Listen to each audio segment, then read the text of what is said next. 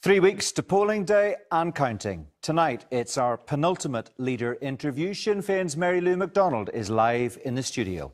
Welcome to The View.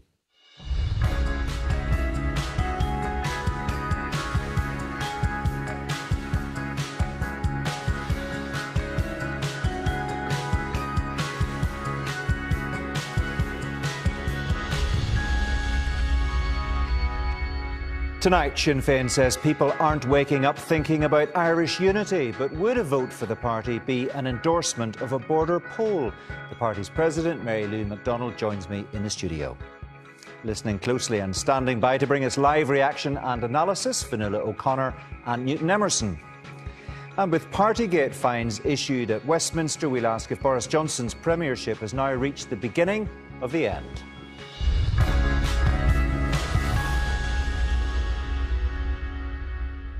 Hello. The DUP says Republicans would use an election victory to pursue a border poll, but Sinn Féin says its current focus is on the cost of living. What's going on? Let's find out. The Sinn Féin President, Mary Lou McDonald, is with me now. Welcome to the programme. Is that the message you want the electorate to hear then over the next three weeks? Um, this election time is not about a border poll, it's about the cost of living crisis.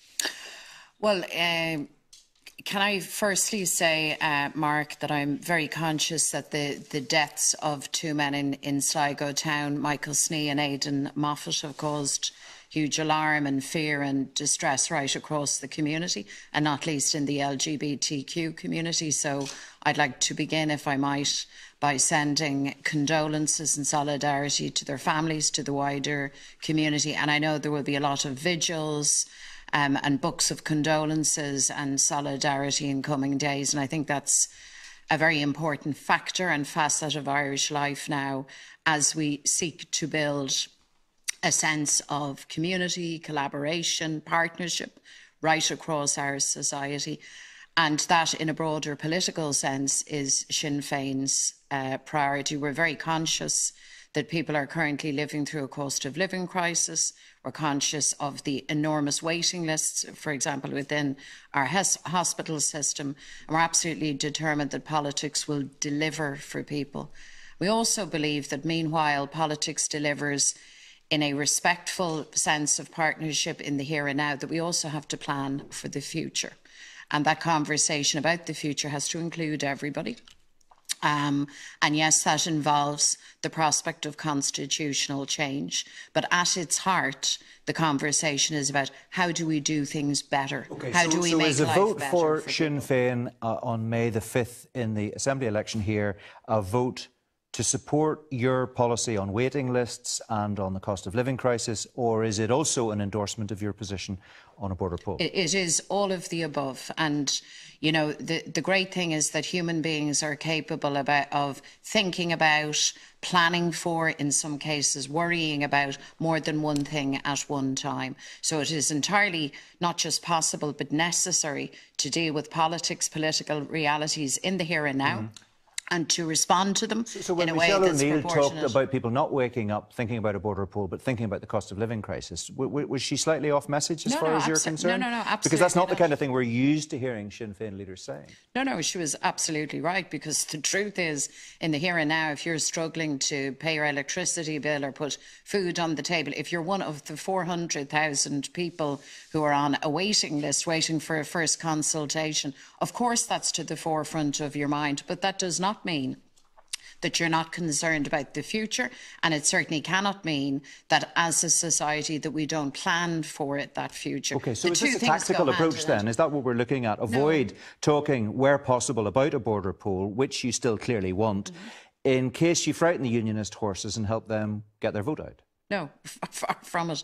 It's a recognition of the reality yeah, that we. Because that's what the DUP thinks. Well, well, with all due respect, then the, the DUP are wrong. Um, the, the, the facts are that we're dealing with an, infl uh, an inflation spiral, the likes of which we haven't seen since the 1980s. The facts are that families, workers, communities are struggling, and politics has to deliver. You have to deliver in the here and now. And alongside that, you have to plan for the future. And let me repeat, the two things go hand in hand. The one complements the, uh, the, the other.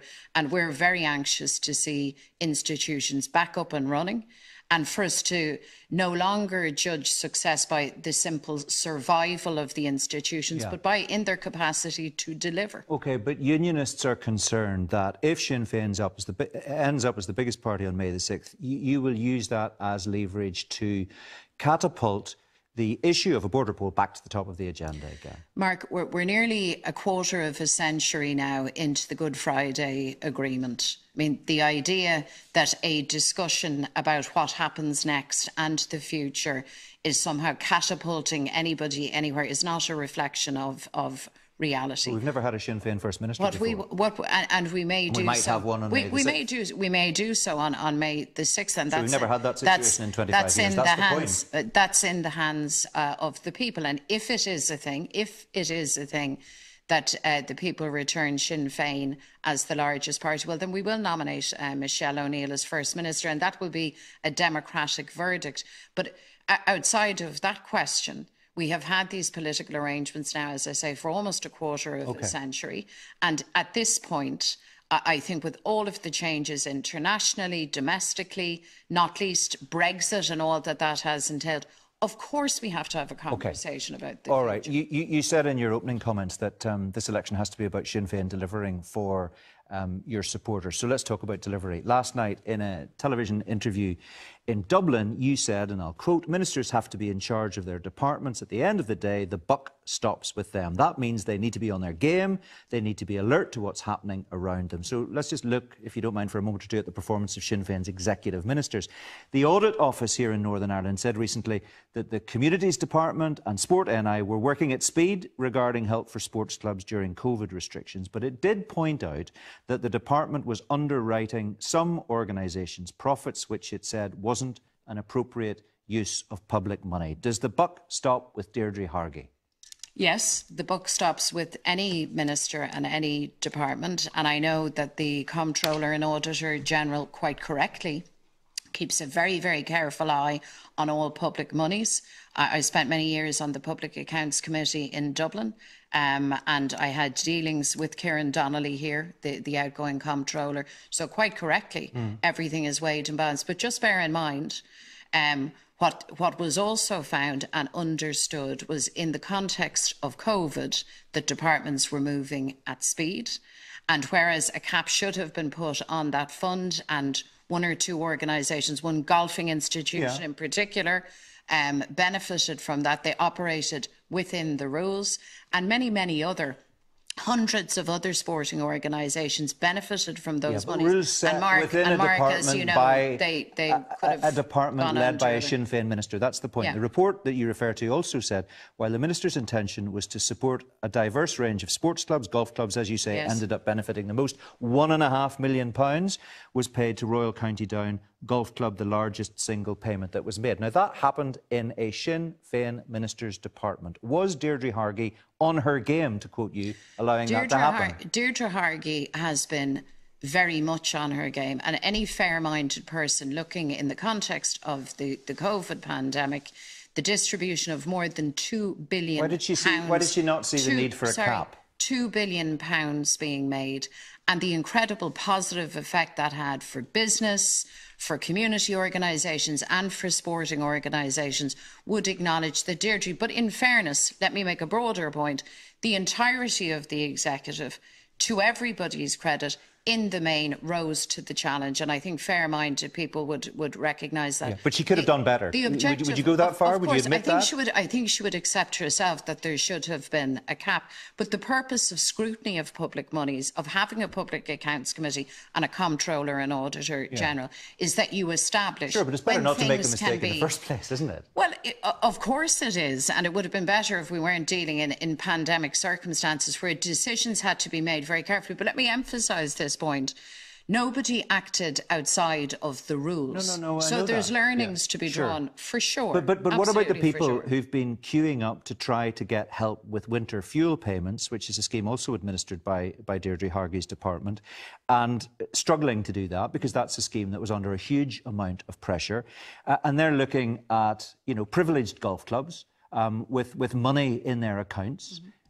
Being handed hundreds of thousands of pounds. In the case we've just referenced, a million and a half pounds. And they'll say, was Deirdre Hargey's department really acting in our interests? Well, I, I think anybody who's struggling, um, and I've met them uh, not just in the, in the course of the election campaign, but far, you know, months uh, before that, out and about, recognise that Deirdre Hargey, perhaps above and beyond any other minister in the executive, has acted in good faith and solidarity, particularly with families that were struggling. So I don't think that's a fair reflection of her work. Well, and I, she I set don't. up a scheme. Let's talk about that scheme. Um, the department set up a scheme offering emergency winter fuel payments earlier in the year. It saw up to 300,000 people trying to access support from a scheme that could only process 330 applications per day. What kind of scheme was that?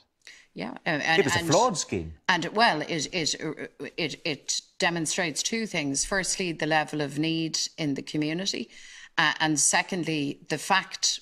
And I don't like this fact, but it is a fact. The system here in the north, uh, north operates from a block grant. You don't have all of the levers and powers that, for example, you would enjoy in Dublin in terms of raising resources and then resourcing your system appropriately. And yes, things were stretched and people were under pressure. And, and the minister said that herself. I don't just, think just there's to any quote her. Okay, she that. said in the Stormont Chamber herself that a scheme that's targeting 20,000 people with a demand of over 280,000 trying to contact the scheme will never be fit for purpose. It was never intended to do that.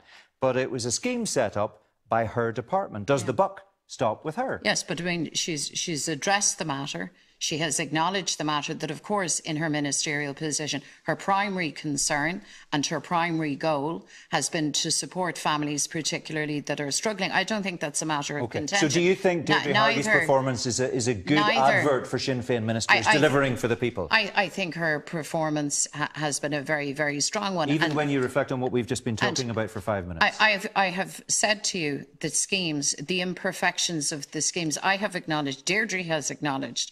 There's nobody denying that, and, and lessons have to be learned from that. Yeah. I've also said to you that that happened at, at a moment of very great pressure, but, but above all else, and I, I can attest to this, out on the ground, amongst those citizens who most rely on a minister having a sense of connection with where people are at and the struggles that they're facing. Nobody surpasses Deirdre Hargey. Well, do, do you think? Do you think if you were one of the 300,000 people looking for support from that winter fuel payment scheme, and you knew that 330 people were being dealt with in any one day, you I would think be- that she was delivering good I- value for money listen t- in the best to me. possible If, if way? I if I was one of those families struggling, and there are many of them possibly watching this interview who are, I would be very very um, frustrated at the fact that uh, because we operate to a block grant and because resourcing has to follow that, I would be very eager to hear political leaders plan for the future and the means by which we get greater Okay, powers, slightly separate great issue. access, greater. Well, it's not separate. It's it's all very much Okay. connected. Well, let's talk about health. Let's move Yeah. on, which is also connected and also um, something that, that your party has had some significant say in in recent years. Your colleague, um, Sinead Ennis, has a big poster up in, in Newry. Daisy Hill Hospital, protect our services. But just to go back to the morning of the publication of the Bengoa report on health service reform, when the then Health Minister, Michelle O'Neill, um, w- was commenting on that. She said there's strong evidence that concentrating specialist procedures and services in a small number of sites produces significantly better outcomes. Adopting this approach will mean that not every service will be available in every existing hospital, but where those services exist, each and every one of us will benefit from more timely, safer, and better outcomes. Has anybody explained that to Sinead Ennis? Yes, Sinead Ennis, and, and indeed those everybody, Sinead and everybody else campaigning for Daisy Hill Hospital are well aware of that. And by the way, they're not looking for every service to be available. They are advocating the point that in a very, very large population area that spans uh, across uh, South Down and into Newry and Armagh, and indeed over the border into North Monaghan and, and into uh, Louth, there is a concentration of population and there but, has but to that's be a separate issue from the Bengoa report, which is about reform and transformation of the health service within Northern Ireland. Yes, yes. I'm not saying it's not connected to cross-border issues, no, but no, that's no. not what Bengoa addresses. No, no, I know you, what Bengoa. You know I know what Bengoa addresses, yeah. and there is it is similarly Sláintecare in the north, in the south, uh, addresses the fact that yes, you need centres of excellence. Um, for specialities, that is absolutely sure, but that is not a cover to denude entire areas of the services that they can legitimately expect. Can I say this to you, Mark?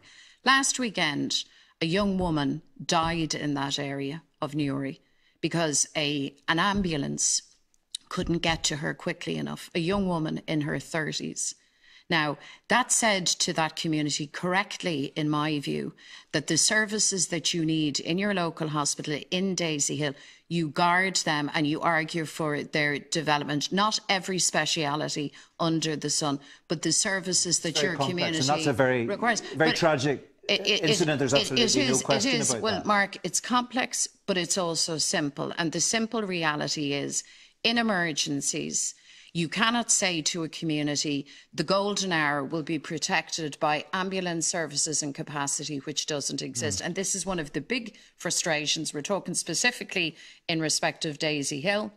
I know these frustrations are felt elsewhere across the north, and that's the reason why we have committed one billion uh, pounds extra in investment in the health service. Conor Murphy has set that out in the draft budget. Yeah, which, which hasn't said, been agreed. Which hasn't been agreed. Well, well, the draft budget was is the costed plan for actually delivering this one billion of additional spending. And bear in mind, back at the time of new decade, new approach, everybody agreed that health would be the priority. As far as we're okay, concerned, just... health is still the priority. So, so if you go Conor, back into government Conor, again, that the, the same, the same, okay, so the same demand will be made on the other government departments if if um, you end up with finance again, if there is an executive after May the fifth, and you will want other departments to to trim their sail to allow that extra money to go to health. Well, That's unchanged, is it? Yeah, well, I, I, I, don't see that as a demand. No, no, I'm just asking. I mean, is, no, no, and I'm just and, I, and I'm just answering. Okay. 400,000 people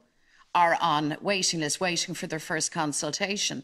That's nearly what? A third of the population on waiting lists. I've cited you that tragic incident last Yeah. weekend. So either health is the priority or it's not. We had agreed that it was. We are sticking to that position and Conor Murphy, to his credit as finance Okay. Minister, put his, his money where his All mouth right, one last question on this. It, again, it, it, it affects the same area. At the end of February, plans to temporarily remove emergency general surgery from Daisy Hill in the city of Newry came into effect. Services were consolidated at Craigavon Area Hospital to maintain safety of service. That was a decision taken by clinicians. Do you support Absolutely. that decision? I will always support any decision that guarantees patient safety. Even if There's- it's unpopular a- for local issue- politicians? There, there is no issue. There, there is no no sensible or sane person who will argue against patient safety. But let me also say this: there is also a case to be made and, and a conundrum around resourcing and recruiting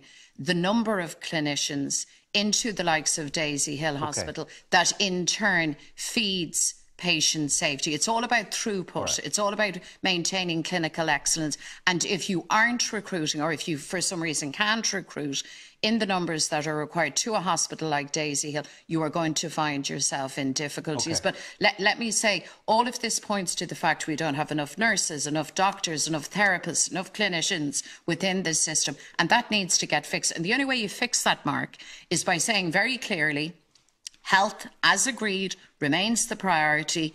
We have committed Okay, well, uh, to made, you've one made that point, billion and I want to talk uh, about some other addition, well. and we will right, stick okay. by that. Um, presumably, this um, weekend's Easter commemorations um, won't be focusing on the cost of living as far as Republicans are concerned. Will you be asking Sinn Féin speakers to weigh their words very carefully because there is presumably a potential electoral cost of not getting things quite right? Will you be trying to make sure nobody says anything to incentivise the unionist vote?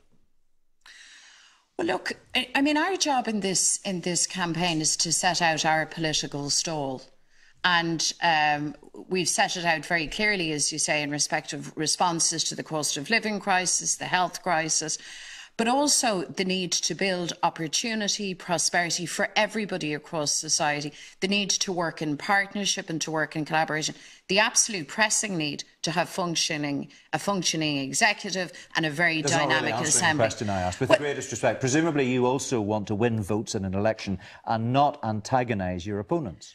But you know that's a very strange way of coming at an election well, campaign. I have like it. I mean, I think it's a reasonable question. But I have ne- I have never uh, fought an election as a candidate or, or a wider election uh, worrying about antagonising somebody else's vote. The, the idea of political campaigns is it's a battle of ideas and proposals and visions of where we are and where we need to yeah, be. But you want That's to avoid a crocodile moment, don't you? I mean, we've, we've heard well, at Easter commemorations in the past members of Sinn Féin say things that make unionists extremely uncomfortable. I'm just asking you a simple question. Will you be trying to stop that happening we this weekend be, because we're only three week, week, weeks away Mark, from an election? Every, it's that every, simple. Every Easter, we celebrate Easter, we reflect on the Easter proclamation, the inclusive uh, proclamation that addressed itself to every Irish man, woman, and child and set out a blueprint for an egalitarian, inclusive, fair, and united society. That's what Easter is all about. And Easter for Republicans is a very special time, yeah. and the focus will be on speaking to that Republican sentiment. And by the way, I think those sentiments travel well beyond the Republican heartlands right. and the Republican. So, so let me base. give you an example. I've got, I've got okay. a few quotes in front of me. I'll pick one. Back in 2015, Gerry Kelly spoke at the Milltown commemoration in Belfast, and he said he wanted to pay tribute to the bravery, leadership, and commitment of the IRA who fought in the streets of our towns and in the highways, byways, and fields of our countryside. On a personal note, he said, I think I can speak for many thousands of Irish Republicans who came through the conflict when I say we are proud of our time as volunteers in the Irish Republican Army. Are we going to hear stuff like that this weekend? Well, you, you are going to hear a Republican vision and sentiment around the future of Ireland. And every every uh, Easter equally. Is that, is that a yes or a no? Every Easter equally, remembrance is paid to volunteers that fought for Irish freedom, going way back, way way before, by the way, Gerry Kelly's time, and that'll happen all across Might Ireland. Might be toned down this year in an effort not to offend unionists. Come here. The, the objective is never. It's the, the objective here is not to offend anybody. No, I'm asking you uh, about an objective not to offend? Well, my objective will always be not to offend. I don't think anybody, any reasonable person sets so out want to hear something like to, that this weekend. to offend.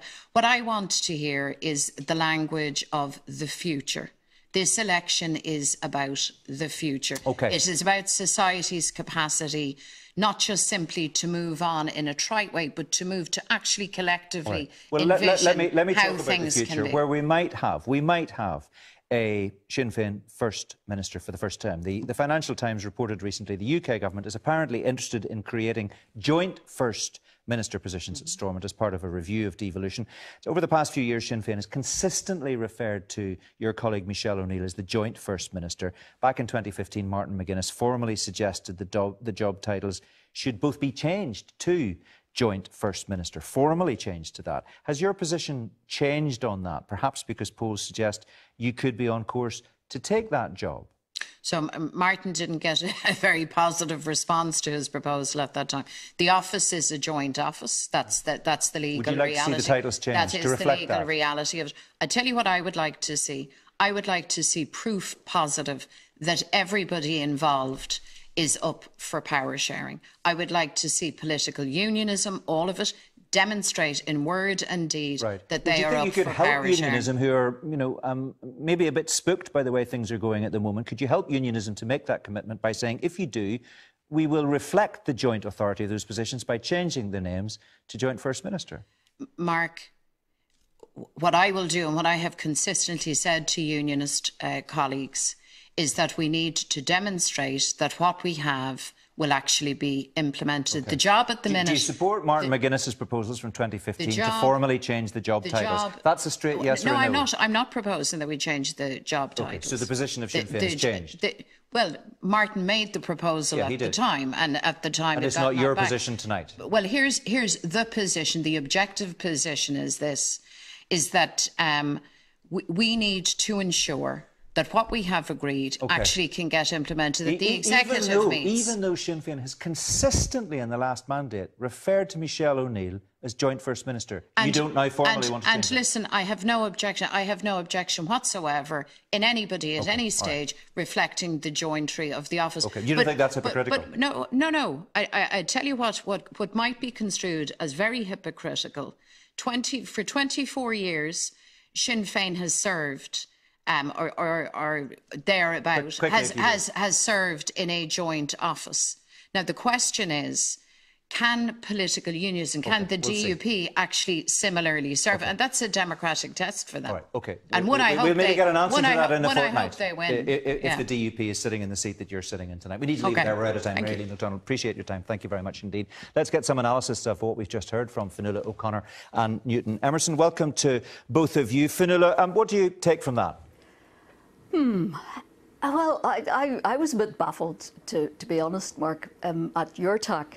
Um, I did think it was an odd way to approach uh, the woman who came to, to, to answer questions on behalf of Sinn Féin as their leader instead of Michelle O'Neill, who is the Northern leader, as of course she's perfectly right to do, and it's Sinn Féin's point always that they are the only 24 county uh, party, sorry, 32 county party uh, operating here. Um, but to, to ask her repeatedly if she wanted to uh, avoid offending unionists, if she wanted to appeal to unionists, instead of um, putting her on the spot, uh, I would have liked to hear her talk about how she hoped to expand Sinn Féin's vote, how she hoped Sinn Féin would hang on to the vote they've got and expand it, rather than possibly lose uh, seats as they may do. They, they came off a very high point uh, last time in freakish circumstances because largely of Arlene Foster's crocodile thing, many people thought. Um, and at the minute, they are, they are um, helped enormously by unionist bad behaviour. Um, so it, it, seemed an odd tack. Uh, it did it did leave her a bit flummoxed, I think, as well. Never she, mind she what I asked. What about the answers we got from Mary Lou, if you don't mind? Well, I, I, think she was ill at ease at times. I think she was uneasy, or she, she was slightly flummoxed by, by some of it. But uh, on on the rest, I, I mean, you, you pinned her down on the on the on the details of uh, uh, Deirdre Hargey's decisions, and uh, no harm in that. Very good idea. I just okay. would have you, liked you, to have Let me ask you: uh, Was that, uh, from your perspective, a persuasive, consistent performance by the Sinn Féin president? Well, it was uh, it was playing it safe and uh, and doing a very good job of that. Uh, this is Sinn Féin's election to lose, it appears, due to the due to the, the DUP meltdown. So playing it safe is the correct strategy. I think it's more about trying to uh, get Alliance and SDLP transfers than worrying about uh, about offending unionism as such. Uh, unionism is offended anyway. But uh, the, there is an air of unreality that hangs over this sort of real issue strategy, and that we don't know if the executive is going to come back after May because the DUP has made it quite clear it's not going to return if the protocol isn't changed, and probably won't return if Sinn Féin is the largest party. So downplaying the constitutional issue is fine, but we've got a, a, an institutional issue now rising about whether there'll be an executive, and the, the Alliance Party has put that to the fore by proposing reforms, not the First Minister changing the First Minister titles. That's uh, that, that, that's that's just a minor detail. It's about tweaking mandatory and adjusting and reforming mandatory coalition, something that was meant to happen years ago under the agreement's own terms. If that issue comes to the fore, I think that puts Sinn Féin on the spot. When it wants to talk about detail and policy, is it going to do what's necessary to reform the executive to deliver it? Um, Fionnuala, what do, what do, you make of um, the argument advanced by Mary Lou McDonald there for referring consistently to Michelle O'Neill as joint First Minister throughout her time as Deputy First Minister, but now apparently rowing back from Martin McGuinness's position, formally stated in 2015 that the posts should be redesignated as joint First Minister. Well, uh, as she said, it was thrown back at him at the time, so there, there wasn't much going for it. Um, there is the, the, point that they always have been joint, uh, that the SDLP negotiated it uh, in, in, a way that they felt, the only way they felt David Trimble would accept it. Um, by, by allowing him to be First Minister.